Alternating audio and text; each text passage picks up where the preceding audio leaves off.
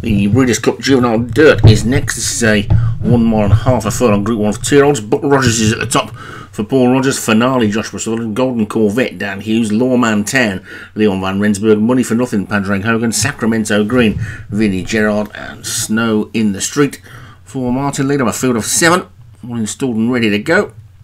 And away they go, a little bit slow out was finale, but you watch that one get out me in the lead in a minute. It's Sacramento Green, the great, and Lawman 10 who are disputing the lead at the moment with Buck Rogers between the two of them. Closest to us, the other yellow jacketed horse is Money for Nothing. The second grey over on the far side is Snow in the Street, and then Finale, and finally Golden Corvette in the blue jacket. But it's Buck Rogers who's got to be the one to take them along, it would seem.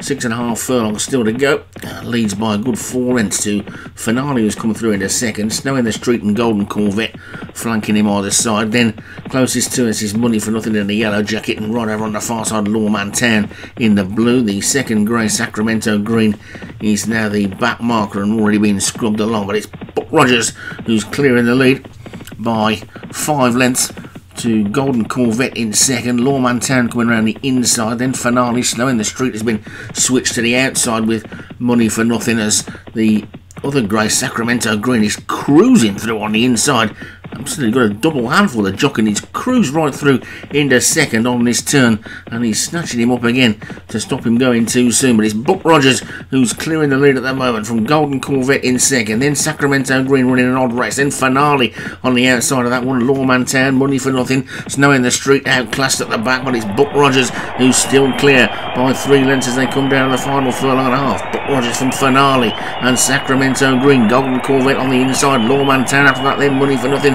and finally Snow in the Street. They're inside the final furlong, and Buck Rogers is hanging on to the lead. But here comes Finale and Sacramento Green. Finale sweeps by in front. Sacramento Green trying to challenge Finale, and Sacramento Green as they come towards one. Finale's got it. Sacramento Green second, money for nothing. A big race in third, then Golden Corvette. Buck Rogers dropped away. And Sacramento Green was going easily on the home turn, but Finale held him off, and it's another one for Joshua Sutherland. I've got a feeling has taken the first day, the first race on Breeders' Cup Day, all three days this week. Sacramento Green second for Vinnie Gerard, Money for Nothing, Padraig Hogan third, Golden Corvette Dan Hughes fourth, and Paul Rhodes' Buck Rogers was fifth.